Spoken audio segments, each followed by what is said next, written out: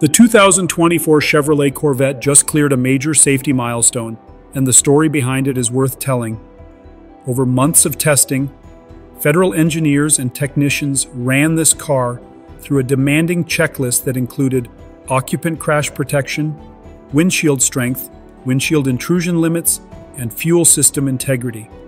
In plain language, how the car protects people, how the glass stays put, how far the windshield structure can move, and whether the fuel system remains sealed when things go wrong.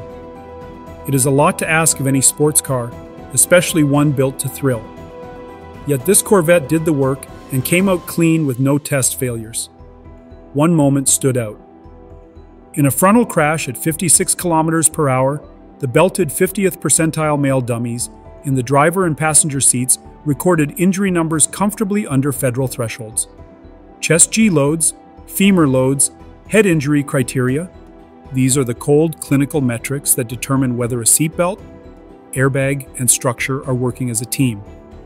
Here they did.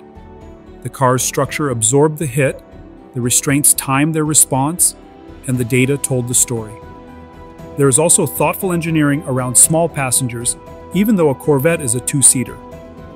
Engineers verified that the passenger airbag system properly recognizes when a child seat or a very small occupant is present and responds as designed.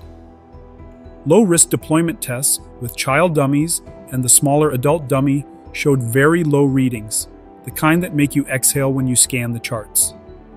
The telltale lights do their job the owner's manual says what it should, and the labels on the visors are the right size, color, and wording.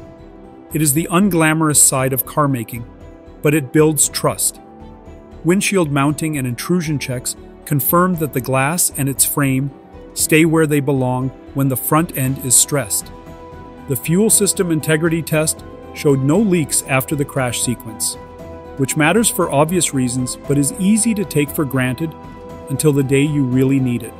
Throughout the process, high speed cameras, accelerometers, and careful dummy positioning captured the fine details down to milliseconds of airbag firing time.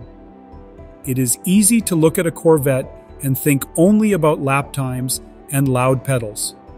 But the soul of a great performance car is not just speed, it is control, communication, and care for the people inside. This round of federal compliance testing says the 2024 Chevrolet Corvette understands that balance. If you enjoyed this breakdown and want more deep dives into the real world proof behind the press headlines, do not forget to like, subscribe, and hit the notification bell so you never miss the next one.